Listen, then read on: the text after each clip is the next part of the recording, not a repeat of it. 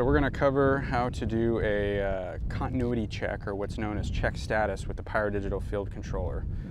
So first thing we're going to do is we're going to power it up. It goes into its EEPROM check. Normally you'll just let that run. If you're in a hurry, you can hit any of those uh, operating mode buttons and it'll bypass the EEPROM check. Then we're going to go to check status, which is the middle button here. It's going to tell you to make sure your firing site is clear before you turn the arming key. So once you've ensured that your site is clear, go ahead and arm the system by turning the key.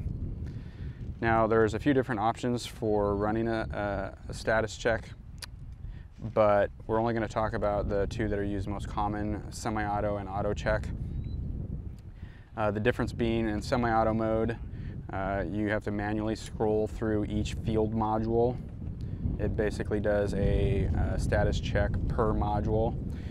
Uh, with auto check, it'll automatically go through, check one module, then go to the next one, check another module, and uh, you can't really see what the issue is when in auto mode, but it'll beep at you if there's a continuity issue on that particular module. So that's a quick way uh, to run through all your modules. If say you've already done a continuity check and you're just doing a, a triple check right at the uh, right before showtime. Um, otherwise, in most cases, you're going to use the semi-auto mode. So semi-auto mode is choice one. So we would hit choice one to go into semi-auto mode. On the bottom of the LCD screen, you'll see it says status box and then the address of the module. So in our case, we have box 10, okay? On the top, it's gonna have uh, zero through F. Those are the individual cues on that particular module. And you're gonna see either an equal sign, a question mark, an X, or uh, just a blank space, okay?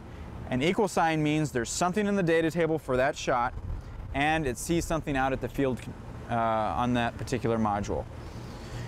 If you have a question mark, that means it sees something out at the module, but there's nothing in the data table for that shot, meaning there's nothing in the script for that particular address. So that usually indicates that you have something plugged in in an incorrect uh, position.